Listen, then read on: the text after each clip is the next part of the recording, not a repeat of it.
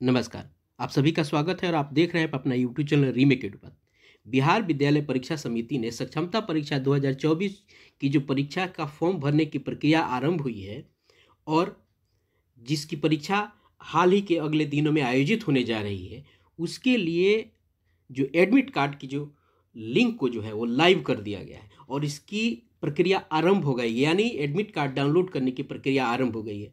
मैं आप सबको क्लियर कर देना चाहता हूँ कि यह सूचना मात्र के लिए वीडियो है।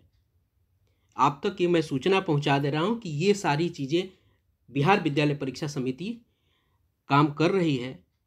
इस सूचना से आप अवगत हो जाएँ और यह चीज़ों के बारे में आप तक ये जानकारी मैं पहुँचा सकूँ, इसके लिए वीडियो है। मैंने ये जैसे वीडियो के लिए बताया कि एडमिट कार्ड का लिंक डाउनलोड करने की प्रक्रिया आरंभ हो गई है, लिंक लाइव हो गया। तो कैसे करेंगे? अगर करना है तो ये कैसे हो रहा है?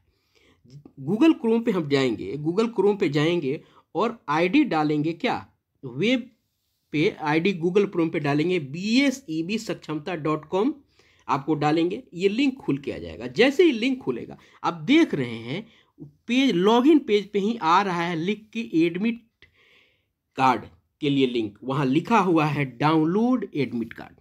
यानी आप इस यहाँ से एडमिट कार्ड डाउनलोड कर सकते हैं। आपको यहाँ मोबाइल नंबर और पासवर्ड डाल के जाने की ज़रूरत नहीं है। डायरेक्ट यहीं से जा सकते हैं। तो कैसे जाएँगे? आइए देखते हैं और जानते हैं कि ये कब से आरंभ हो गया है एडमिट कार्ड डाउनलोड करना और कब तक आपको इसको डाउनलोड किया जा सकता है। जैसे इस लिंक क्लिक करेंगे आपके पास एक पेज खुल के आ जा रहा है और पेज पे, पे लिखा हुआ है कि commencement of the admit card download तेरह दो दो हज़ार चौबीस और closure of admit card download तेरह तीन दो हज़ार चौबीस। यदि आपने रजिस्ट्रेशन किया है फॉर्म भरा है तो और डिजिटली वेरीफाई है आपका डीपीओ के माध्यम से तो एडमिट कार्ड डाउनलोड की, करने की प्रक्रिया आरंभ हो गई है लाइव हो गया है तो एडमिट कार्ड डाउनलोड इस तरीके से किया जा सकता है। यह प्रक्रिया अपनाई गई है और इसको आरंभ करने की तिथि जो बताई जा रही है, जो वेबसाइट पर, वह आपको तेरह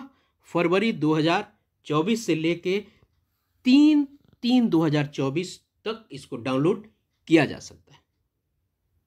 यही सूचना है एडमिट कार्ड लाइव होने के लिए, जो आप तक मैं पहुँचा रहा हूँ। मेरा, आप तक की सूचना पहुँचाने का एकमात्र उद्देश्य सूचनाओं के अग्रसारण से आशा है आप इस सूचना से अवगत होंगे, आप अपना ख्याल रखिए और मैं बहुत जल्दी ही एडमिट कार्ड कैसे डाउनलोड किया जाएगा, कैसे क्या प्रक्रिया है मैं उसको आप तक ज़रूर पहुँचा दूँगा। थैंक यू सो मच धन्यवाद.